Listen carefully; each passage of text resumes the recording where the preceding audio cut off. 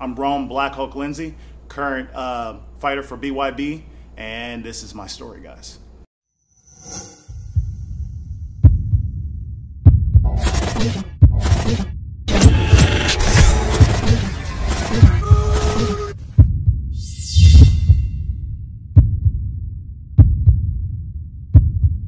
Okay, so tell everyone, I'm like, where you from? I'm from Fort Scott, Kansas. It's a little small town in the Midwest, and uh, just grows up, you know, chickens and farm, and it's just a Midwest kid, man. You know, country. Gotcha. So how old were you when you first, um, like, discovered that you want to, um, become one, I'm like, fighter?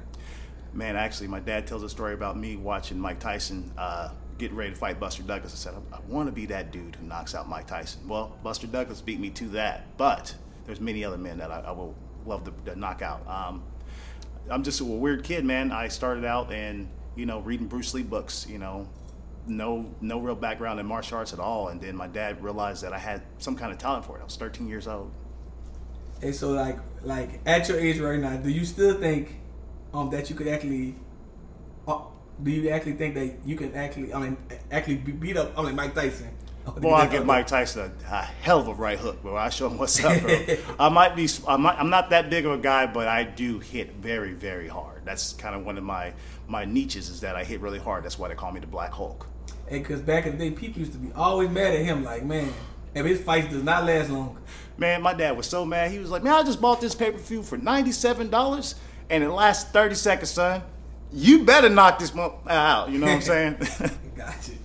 So, how old were you when you first had your, your first, I'm like, real fight outside? I was 26 years old for my first structured MMA fight. Now, the story is, is that Rome Lindsay has been doing a little bit of bare knuckle boxing since Pittsburgh, Kansas.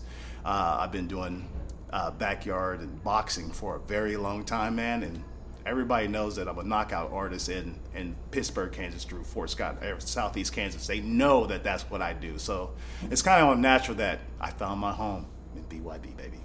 BYB. So, I'm like, what year did you find, I'm like, BYB? So I found BYB actually uh, last year. So crazy thing happened. I was, you know, with the bad guys, BKFC, and they had offered me to fight uh, a short a short notice fight. I took the short notice fight against their number one dude. I, I lost to a body shot. Um, I came back and get ready for another fight, and I had a I got rear-ended. Sixty the dude was going 67 miles per hour in the 35 miles per hour zone. Uh, I had a serious concussion, where the doctors thought I was gonna pass away. Um, I had to relearn how to walk, talk. It's uh, it's kind of a miracle that I'm in here uh, breaking knockout records and setting different trends and letting people know that you can't be stopped. If your mindset is that you can't be stopped, that you are invincible, you will be invincible. Gotcha. So, BYB, like, how far do you think that you know the the whole, I'm like bare, I'm like knuckle, I'm like fist, you know, organization will actually go? Man, you got to think about it. 1885 is when bare knuckle kind of really started, dude. That's back back back in the day, you know, with Jack Dempsey's the, the, the first Jack Dempsey, not Jack Dempsey that the boxer Jack Dempsey, Jack Nixon, the bare knuckle boxer. It's two different people, so you got to check that stuff out. But anyway, this is this is well before then. This is that's time, and what we're watching right now going on in our communities every day is you see bell bottoms on people now.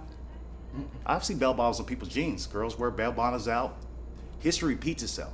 So if history repeats itself, then B- BYB will be the number one most watched fighting organization in the world. This is entertaining. Where, where else can you get two steps and be right into your opponent's face and the action's right there? Where? Where? Where else, baby? In that Trigon. In the mighty Trigons where you don't find that. But, but I actually believe it's going to be big because you know people watching, people getting um like slapped every day now.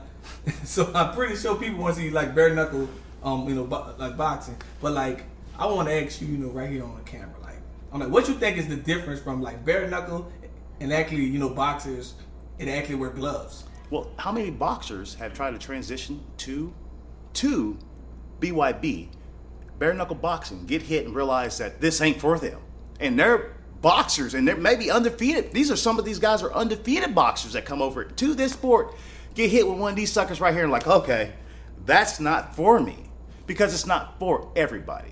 But what it is is for true athletes that want to step up their game and see what you're really about. Take those damn pads off. You're wearing five pounds of pad. That's like if you gave me a club and you told me to beat a man to death, I can do it in one strike. Same ordeal. Your hands is on either that person's face is on wear out or their hands is on wear out first. So either way, we're not going to have these long 12 round bouts where people are getting, you know, destroyed for, for, for 12 rounds because they got pads on their gloves. We don't get these lopsided matchups over here in BYB. We get honest matchups here. So with taking the, the damage out that what we have and bringing into what is in the forefront right now, we don't have those big injuries that boxing have. We don't have how many deaths has it been for bare knuckle boxing, but how many deaths has it been from MMA, boxing, kickboxing, and other combat sports? This is a safer sport, baby. So I always tell people, you know, if like bare on knuckle boxing, you're gonna need one on like strong chin. Because if a person chin that chin right, it was oh, lights out. Yeah, I mean it's it really is. It really is a sport that's like if you're uh, ready to go first or whatever, that's gonna make a big difference. So like, yeah, bare knuckle on on a, a regular mouth chin, you might go out. You know, it's just it is what it is. It's a business, man. Uh, we're in the hurt business, so just it's kind of what it is, man. you sign a waiver to come in here and you know put your life on the line and to to grow your legacy as well as your family's legacy. So I just try to bring it every time, so I don't have to worry about that situation. Gotcha. And um, this question, um, being in this, you know, I'm like for some years now. I'm like, what do you? I'm like enjoy most about it, and like, what do you actually? I'm like dislike about it. The things I dislike about the combat sports, I love BYB because they really take care of your fighter. The thing that I really hated about uh, combat sports is that you do you do put your life on the line, and then some of these corporations don't actually take you in as family. BYB makes you feel like family. I had an injury after my last fight in uh, January, and I have never had a company be like, "Hey, are you feeling better? You good? You ready to get back on the card? When you're ready to go, let's get it." Never had a company do that, dude. I fought for Bellator. I fought for XFL. I've been all over the place, man. I am a I am a, a name that's been around for a while.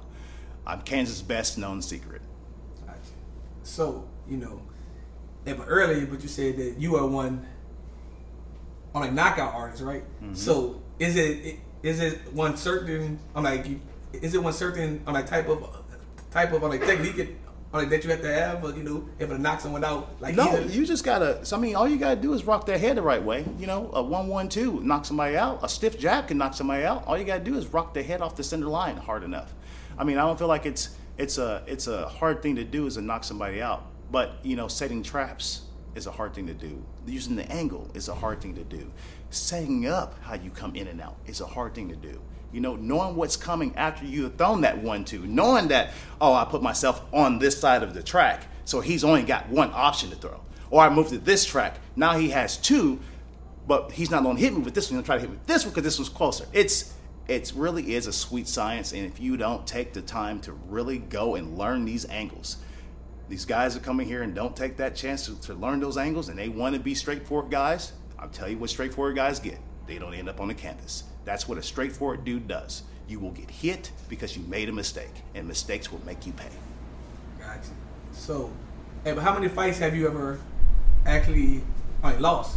So I was seven and nine as a professional MMA fighter. I was, I am uh, three and two as a professional kickboxer. I'm one and two as a professional boxer. I know about wins and losses. That's that's that's that's apparent. But the thing is, is like, do you take off those wins and losses? Did you learn? Did you go back to the gym immediately and, and put the footwork in to try the footwork, try different head movements, see what was wrong? Did you go back and look at your old fights? Was you happy with your last result, even though you won? Because I know I'm not. Because that that means that, that that's my high point. If that's my high point, how am I ever going to evolve more as a fighter if that's my freaking high point, man? That, that, that, no, no, it's not good enough. I will be better. Sorry, I'm just weird. Gotcha. So tell us, actually, actually, I'm like, what's next for you?